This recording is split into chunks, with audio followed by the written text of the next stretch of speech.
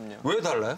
제가 먼저 할게요. 예전에 제가 먼저 할게요. 예전에 그 톰 크루즈 아시죠? 톰 크루즈 장인이 네. 이혼할 때 뭐라 그랬죠? 뭐라 니콜 키드만. 니콜 키드만. 진짜 이거 던져도 돼요? 뭐 좀 던져도 돼? 이런, 이런 생각을 언제 하는 거지?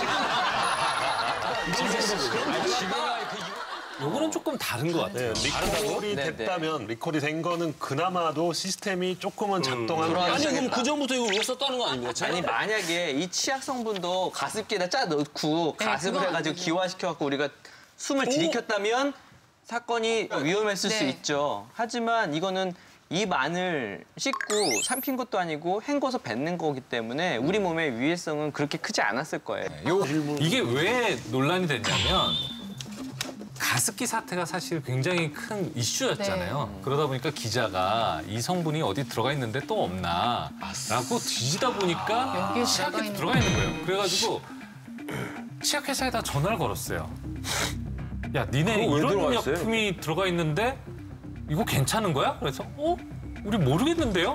라고 얘기를 해가지고 모르겠다. 어 그래가지고 불이나케 질병관리본부랑 다른 정부기관에다 확인을 한 거예요. 그랬더니 이제 답변이 나온 게 지금 우리나라의 치약 성분에 들어가 있는 건 사실이지만 이게 인체에 큰 문제는 없을 것으로 본다라고 일차 보도자를 뿌린 거예요.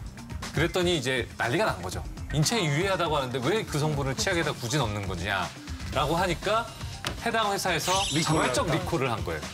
이게 논란이 되니까. 일단 정부 발표에 대해서는 네, 네. 양치기 소년이었던 거죠. 어, 가습기 사건 거치고 나서 정부 발표 안 믿은 거예요. 오 이거 똑같은 일이 또 있었던 거야? 막 이렇게 완전히 다, 다 놀랬던 거죠. 아주 기겁을 했던 거죠. 유해성이 있으니까 나라에서 금지 시킨 리콜 안. 했으면 회사 망했지.